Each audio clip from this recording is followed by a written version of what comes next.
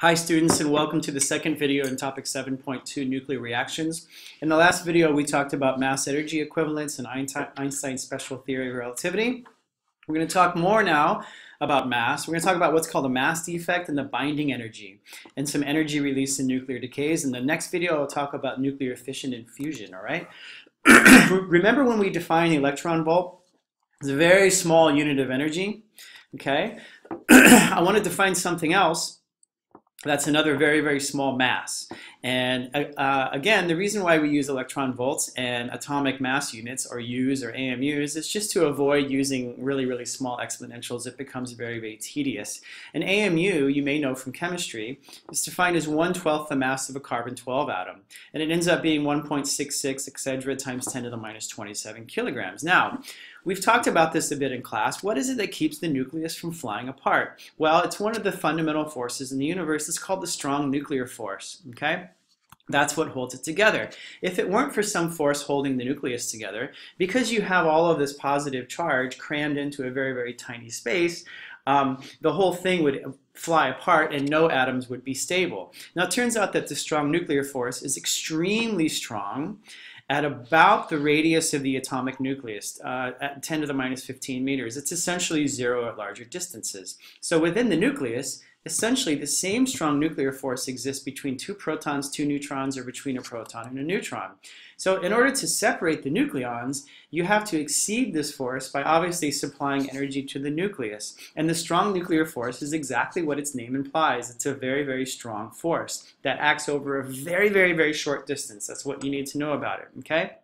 So just to give you an idea of the relative strengths of the fundamental forces, if the strong nuclear force, if we call that 1, you can see that gravitational, how much smaller the gravitational force is, and even how much smaller electrostatic is. Remember, re remember um, the gravitational constant and the K in Coulomb's law that will seek to that will serve to remind you the relative strengths of these forces. Okay, all right. You have to be um, familiar with something called the Segre plot, and what this shows is on the x-axis we have the proton number and on the y-axis we have the neutron number. So it's a ratio, um, it's a ratio of the neutron number to the proton number, okay?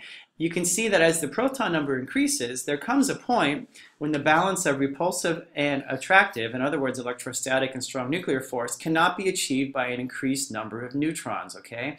And the red line indicates uh, directly proportional or where n equals z. So eventually what happens is that the limited range of action of the strong nuclear force, which remember only acts over about 10 to the minus 15 meters and is zero for bigger distances, it prevents extra neutrons from balancing the long range electrostatic repulsion of extra protons, okay?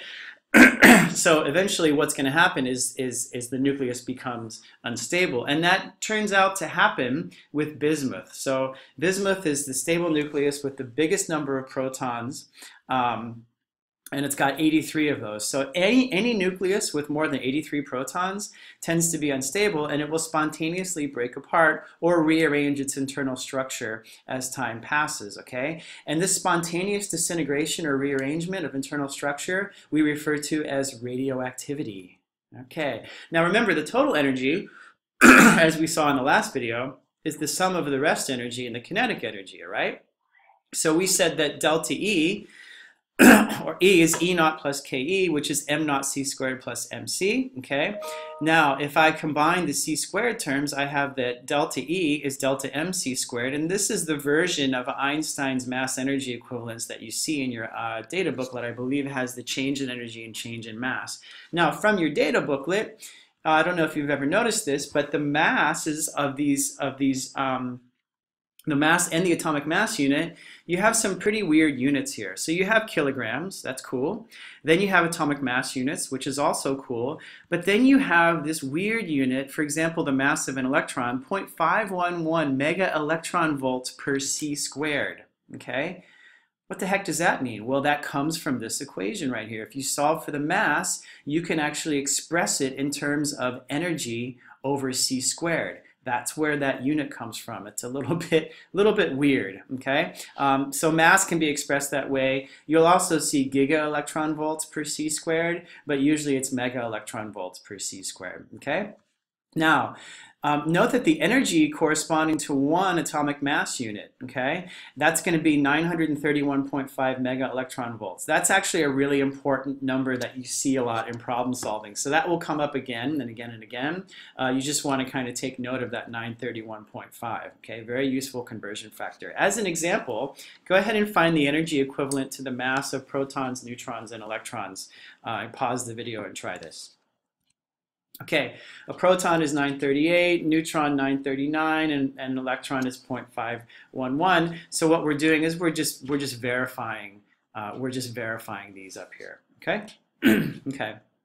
Now remember that on the periodic table you have A, uh, which is the number of protons and neutrons, and then you have Z, which is the proton number, number of protons. So the question that I'm posing to you, if you remember from your chemistry, is how would you find the mass of an atomic nucleus? So one way to do it is you could, if you knew the entire mass of the atom, okay, um, you could subtract from the entire mass of the atom um, the mass of the electrons times the number of electrons. Now this is assuming that the atom is um, has a has a neutral charge, has has has no net charge, where the number of electrons equals the number of protons. Okay, all right. So go ahead using this uh, method. Go ahead and find the mass of a helium nucleus. Okay, when you do it, you find that the mass of the nucleus is 4.001500 atomic mass units. Go ahead and check my math. That's pretty straightforward, right? Okay, so 4.001500 atomic mass units. But remember that helium has two protons and two neutrons. So the mass of a helium nucleus should be, if I multiply the mass of a proton as given in my IB data booklet table, um, if I take that and then the mass of a neutron, and there are two of each of them, I end up with a number that is not the same as the calculation I had before. In fact, the difference is 0.030400 atomic mass units. What is going on here? In fact, if you do these calculations with any atom, you'll find that there's a difference depending on the method. This is a big problem. You'll find that there's always going to be a difference. What to do? Well, Einstein came up with this thing called what he called the mass defect. And its, um, its symbol is the Greek letter delta. And it's the difference between the total mass of nucleons in an atom and the total mass of the nucleus. Very weird. Now, mathematically, we can say that the mass defect is A minus Z times the mass of a neutron, right? Plus the Z times the mass of a proton, Got it? This is very simple when you remember what A and Z are, minus the mass of the nucleus. Now, most atoms have a mass defect, but they can differ depending on the kind of atom. So, for example, for lithium, if you do the calculation, uh, here's lithium 7 here, right? There's a calculation here, which you can pause the video and look at you get a mass defect of 0.040475 atomic mass units. So what the heck is going on? Where is the missing mass? This is very, very, very bizarre, okay? Well, guess who came up with an explanation for it? It was Einstein, of course, in his theory of special relativity, which we talked about in the last video. He said that the missing mass is actually stored as energy inside the nucleus, which is something I have discussed previously. And I also talked about earlier how mass and energy can be converted into one another. Einstein came up with the, with the phrase binding energy the binding energy of the nucleus, and it's E sub b. And E sub b is given by the mass defect times c squared. This is another version of E equals mc squared, where c is the speed of light and delta is the mass defect as given by the equation which I stated to you earlier. Okay. Now the binding energy really is the work to completely separate or put together all the nucleons in a particular nucleus, okay, by the work energy theorem.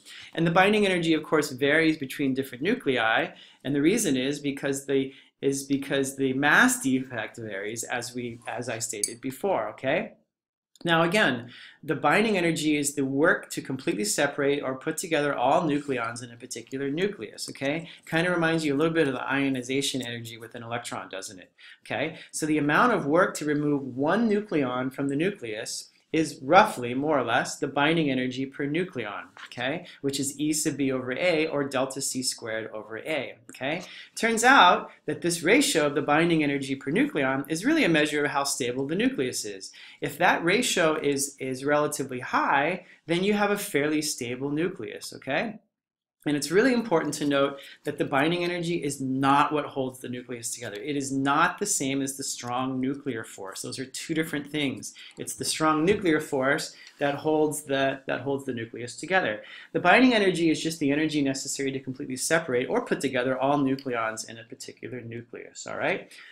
As an example, pause the video and try this one. I want you to find the binding energy per nucleon of the nucleus of a carbon-12 atom.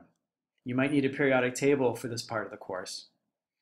Okay, now you know that the mass of a nucleus is 11.996706 atomic mass units for a carbon-12 atom. Okay, now if I find the uh, mass defect, okay, Find that the mass defect is 0.098940 atomic mass units, which is 92.2 mega electron volts. Now per nucleon, I just divide that by 12, and I end up with 7.86 mega electron volts.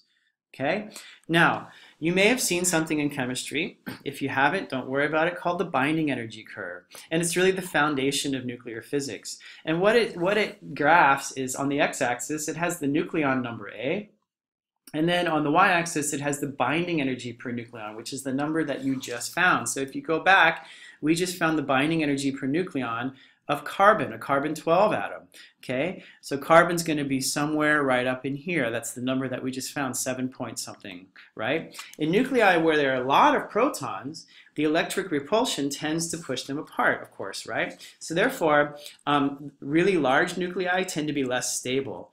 Um, and it's not possible for a nucleus to have more than about 300 nucleons and um, be stable, okay? Or, well, it's actually not, not possible for it to have uh, 300 nucleons at all, stable or unstable, okay? Now, we saw that uh, carbon-12 had, had a binding energy per nucleon of 7.68 mega electron volts. So it turns out that elements that are near the maximum of this curve with respect, uh, generally a curve, there are a few outliers here, they tend to be the most stable and they're most in abundance, okay? Most nuclei have binding energy per nucleon of about 8 mega electron volts, okay? So that's about the average, okay? The maximum of the function, function is at A equals 62, nucleon number uh, 62, okay? And this is uh, nickel and iron, Okay, this curve forms the basis for nuclear fusion and fission, which we'll talk about later. Now, comparing the binding energy curve to the Segre plot, which we talked about before, any differences or similarities? Okay, I'll let you think about that and maybe we can talk about that in class together, but you should study the two and think about how they're different or similar. That would be a great question to discuss, okay? Um, and when you're doing so, remember what the binding energy is, right? Remember, remember the mathematical, the algebraic equation for binding energy and how that relates to the mass defect, okay? Turns out that eventually the binding energy per nucleon decreases enough so that there's insufficient binding energy to hold the nucleus together, okay? And that's why things are, that's why that side of the graph is um, unstable. Now, I want to talk a little bit about energy released in nuclear decays, all right? Um, we've talked about nuclear decays before, alpha, beta, and gamma decay, all right? And um, in order to really understand this further, I want to come up with an analogy, okay? Let's say you have a bowl, and you have a ball in the bowl. Now, if you want to lift the ball out of the bottom of the bowl, you obviously need to do work on it, okay? You can think of that work like if you actually reach into the bowl, get the ball out, and you're going to apply a force through a distance, you're doing work on the ball. That work can be thought of as the binding energy of the nucleus. Now, when the ball is in the bowl, it doesn't have that energy, right? It's just sitting there, and there's been no work done on it. It's what's it, that's what's lost when it rolls to the bottom, and you gain that when you lift it to the top edge, okay? And all physical systems will try to reach a position of lowest possible energy. That's one of the sort of tenets of the universe, right? So if possible, a nucleus will change if it's possible, a nucleus will want to change into one with lower energy. And that means that a nucleus will naturally change to one with more binding energy as possible. That's what happens in nature, okay? All right, now the binding energy is the work to completely separate all the nucleons. So binding energy is therefore released when the nucleus is formed. And changing to a higher binding energy means that energy is released, which is a little bit counterintuitive, or a nucleus is formed in that case, okay? So again, the most stable elements are at the top, right? So you have copper, nickel, and iron, okay? Down here, Uh, the average binding energy per nucleon is zero since there's only one particle in the nucleus. and these here, this uh, helium and carbon and oxygen are relatively stable compared to their neighbors because they have, these are little spikes of a higher average binding energy per nucleon, okay? Now, getting out here to the right-hand side, okay, looking at these elements, what is this? Bismuth, thorium, uranium, okay? thorium-233 has a higher binding energy than uranium-235. Therefore, it would be you could say energ energetically favorable for uranium-235 to change into thorium-233. But this might not be possible. It doesn't, it doesn't always happen, but it would be energetically favorable for that. There there's a chance that it may happen, but it does not always happen. Okay. Now the binding energy per nucleon is roughly constant above about A equals 20 okay roughly speaking which is right in here remember we said that the average was about uh, was about eight okay now, to figure out whether decays release energy, we actually now have to calculate the mass difference, okay? Because you know that energy is mass, is, is uh, the energy mass equivalence. Delta M is the total mass of the reactants minus the total mass of the products, okay? If it's a positive delta M, it means that energy will be released and the, the, the decay will occur. If it's negative delta M, uh, the, the decay will not occur, okay? All right, so for example, in alpha decay, remember alpha decay are really helium nuclei with two, two protons and two neutrons. And remember that I said that um, helium was unusually stable relative to its neighbors because of that spike, okay? So it turns out then Therefore, that an alpha particle is ejected from a more massive, unstable nucleus, right? Which, of course, is what we saw when we studied alpha decay before. And the alpha particle moves away from its daughter with discrete values of kinetic energy, which we talked about before, okay? All right, try this example real quick. I'm sort of running out of time with this video. I don't want it to be too long. Okay, the energy released when alpha, de alpha decay converts uranium into thorium, okay? Uh, there's my decay equation, right? So I just calculate in atomic mass units, those energies, okay? I get a mass difference of 0.0046 atomic mass units, and then I convert that to mega electron volts. That's the energy release when alpha decay converts uranium to thorium in such a way. Now, what about beta decay? We talked about beta minus, beta plus, mostly beta minus before. You know that beta rays are electrons or positrons. Okay, uh, it turns out that the, that that that beta particle does not exist within the parent nucleus. Okay, and that's an electron. Okay, if it's a positron, uh, you would have this symbol, which we'll talk more when we get to 7.3. Okay, and you know that beta particles move away from the daughter uh, nucleus with a continuous range of kinetic energy values, as, as we've talked before. Okay, here's another example. Try example eight. Pause the video and try this one on your own. Okay. Classic IB past paper question. Find the energy release when beta minus decay changes thorium into, uh, what is that? Is that polonium? Okay. All right. So we have, there's, there's, the, there's the decay equation. The energy released during the decay, I've calculated as 0.00029. Okay. And again, I convert that, okay, to, uh, to, to an energy. And that's going to be the maximum kinetic energy that the electron can possibly have, all right? So when a beta minus particle is emitted by a nucleus, energy is released. Now, experimentally, it's found that most particles don't have enough kinetic energy to account for all the energy released. It's very interesting. So if a, if a particle carries away only part, where does the remainder go? This was a big question in physics, okay? All right, in 1930, Pauli proposed that part of the energy, now we're getting into quantum a little bit, right, is carried away by another particle that must be emitted along with the, along with the particle, okay? That's where the neutrino came from. You've heard about neutrinos. We'll talk more about that in topic 7.3. Neutrinos were verified experimentally in 1956. So if we want to write this decay more properly, beta minus decay, we have to include a neutrino. And I think when we studied uh, beta decays before, I included the neutrino in my decay equations. Um, and that's the reason why, because there's we have to account for that for that uh, missing energy, okay? And it's the Greek letter nu, it's not a V, all right, even though it looks like a V, okay? If beta plus decay occurs, a normal neutrino is emitted without the bar. A couple of things about neutrinos to kind of get you interested in topic 7.3 before we get there, okay? They have zero electric charge. They probably travel less than c, we don't know. Very difficult to, to detect because it interacts very, very weakly with matter, okay? We know that there's a lot of it in the universe, and since we know that there's a lot, if the mass is determined, it could help possibly explain dark matter and galaxy formation. But that's another topic for another day, okay? Gamma decay, the last kind of decay. You know that gamma rays are photons that have a lot of energy. They're, they're dangerous for you. You don't want to be exposed to them. And gamma rays are emitted when a nucleus changes from an excited higher energy state to a lower one and emits that photon, okay? Gamma decay does not cause a transmutation, and you know that the photon moves away from the parent nucleus with discrete values of kinetic energy, okay? All right, as an example, try to determine the wavelength of the 0.186 mega electron volt gamma ray emitted by radium, given these numbers. Try that one. Okay, wavelength. Well, using HC, uh, using that the energy is HC over lambda, you can end up with a wavelength of 6.68 times 10 to the minus 12 meters. Welcome to quantum. We're finding a wavelength of a particle, a gamma ray, or a photon. It behaves as a particle and as a wave. Okay, more on that later. Okay, all right, so we've seen that in any decay equation, conservation laws are going to be obeyed. We have charge, mass, nucleon number, okay?